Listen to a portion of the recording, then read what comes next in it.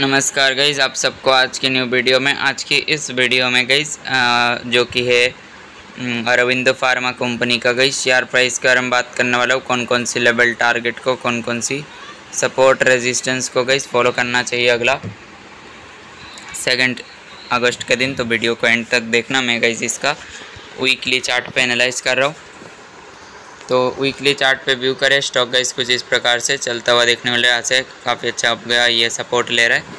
तो सपोर्ट लेके उसके बाद गई स्टॉक पे अच्छा तेज़ी आ सकता है। इसका जो गई आप लोग अभी सबसे पहला काफ़ी स्ट्रॉन्ग सपोर्ट फॉलो कर सकते हो, जो कि है 812.10 स्टॉक अगर इस सपोर्ट को ब्रेक डाउन करता है, तब आप लोग इसका अगला सपोर्ट फॉलो कर सकते हो, जो कि होगा लगभग 734.